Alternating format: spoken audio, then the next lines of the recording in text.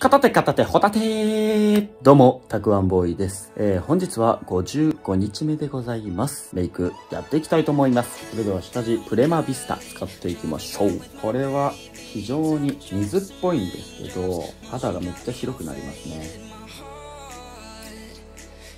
伸ばしていきます。ニキビだ。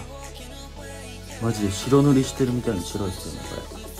まあ、ここからなじませていくんですけど、これのいいとこはやっぱサラサラってところですよね。塗った後のべっとりした感じがないので、めっちゃいいですね。下地がしっかりと塗りましたので、次はクッションファンデを塗っていきます。ジョンセン色はメイディアム使ってます。じゃあコンシーラーでニキビ跡を消していきます。てててててててててててててててててて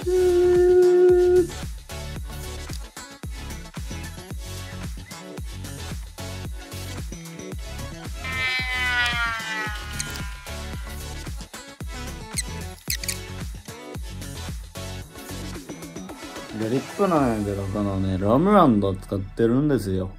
このロムアンドのですね、えー、シャープ08アップルブラウンっていう色でやっております。すごいね、リンゴの甘い匂いがするんですよね、これ。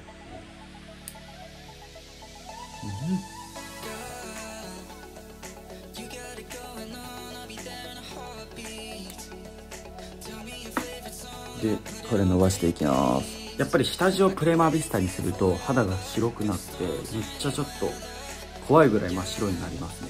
メンズの場合はウーノのフェイスカラーとかの方がいいのかもしれないですね。うん。あんま白すぎても。まあでも韓流メイクだったら白い方がいいのかな。ベストな肌色を調整していきたいと思います。はい。ということで今回こんな感じで終わりたいと思います。